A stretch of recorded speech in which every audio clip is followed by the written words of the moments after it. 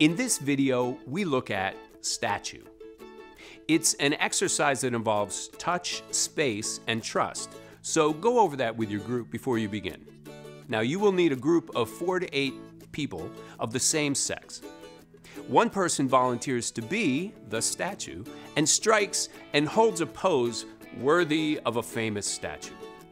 The group is then asked to move that statue in various ways.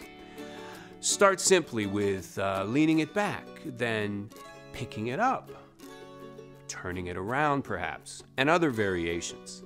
The key is for the statue to always be rigid, never deviating from his or her original position, and for the group to safely move that person. It's a lot of fun, so check it out. head to toe. Tilt the statue back and lift it back up. Okay? Can we tilt the statue forward? So someone's probably going to need to come in front. We won't want to move until we know we can do it safely. Okay. And down. See if we can turn that statue uh, 180 degrees to the right or 90 degrees to the right. Can you get Ready? a little lower, Jonathan? Like, yeah.